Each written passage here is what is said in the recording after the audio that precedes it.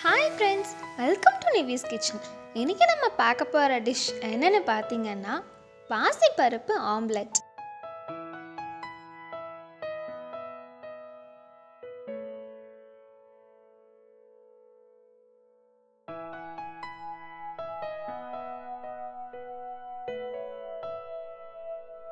பாசிப்பருப்பு ஆம்லெட் எப்படி செய்கிறதுன்னு வாங்க பார்க்கலாம்.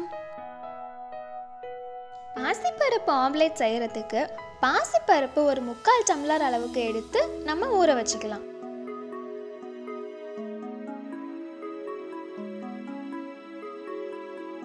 கேரட் ஒன்று எடுத்திருக்கேன். பெரிய சைஸாக இருந்தால் நீங்கள் ஒன்று எடுத்துக்கோங்க. சின்னதாக இருந்தால் ரெண்டு கேரட் எடுத்துக்கோங்க. முட்டை ஒரு ரெண்டு எடுத்துக்கோங்க.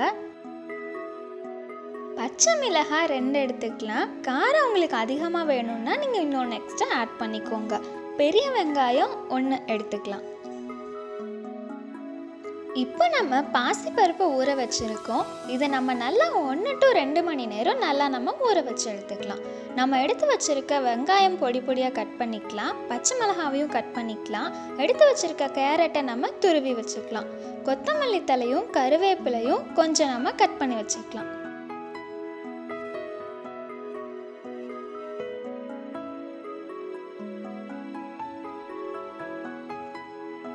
ஊற வச்சிருக்க பாசி பருப்பை தண்ணி விட்டு நம்ம அதை அரைச்சி எடுத்துக்கலாம். கூடவே நம்ம ஒரு மிளகாயும் ஆட் பண்ணி நம்ம அதை நல்லா அரைச்சி எடுத்துக்கலாம்.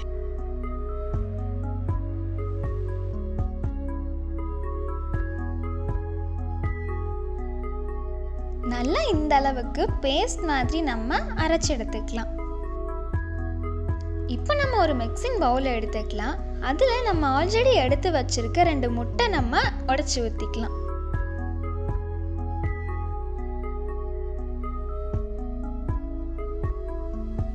இது கூட நம்ம தேவையான அளவு உப்பு சேர்த்து நம்ம நல்லா அதை பீட் பண்ணிக்கலாம்.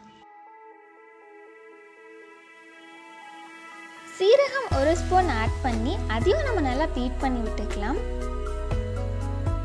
இது கூட கரம் மசாலா ஒரு அரை ஸ்பூன் அளவுக்கு நான் ஆட் பண்ணியிருக்கேன். இது ஆப்ஷனல் தான். வேணும்னா சேர்த்துட்டு அதையும் நம்ம நல்லா பீட் பண்ணி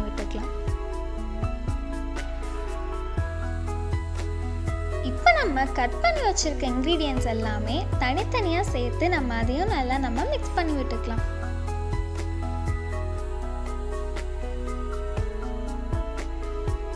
எல்லாம் மிக்ஸ் பண்ணதுக்கப்புறம் நம்ம அரைச்சி வச்சிருக்க பாசி பருப்பையும் இது கூட நம்ம சேர்த்து அதையும் நம்ம நல்லா கலந்து விட்டுக்கலாம்.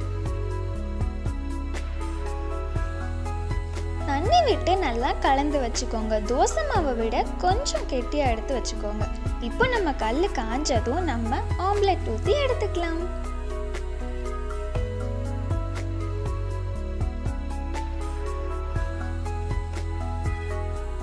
நல்லா எண்ணெய் விட்டு ரெண்டு பக்கமும் திருப்பி போட்டு நல்லா வேக வச்சு எடுத்துக்கலாம்.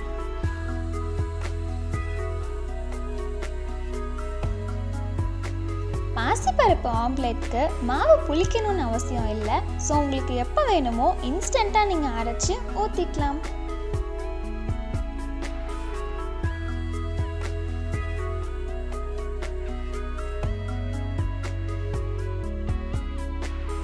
பாருங்க இந்த அளவுக்கு நல்லா நமக்கு வெந்திருக்கணும். இப்போ நம்மளோட பாசிப்பருப்பு ஆம்லெட் ரெடி.